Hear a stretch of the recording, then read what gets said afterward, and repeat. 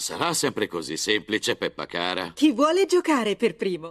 Scommetto che la creatura delle scosse sta camminando qui vicino. Veloci, amici miei! Andiamo prima che le scosse comincino di nuovo. Perché questi orangotanghi non ci fanno passare?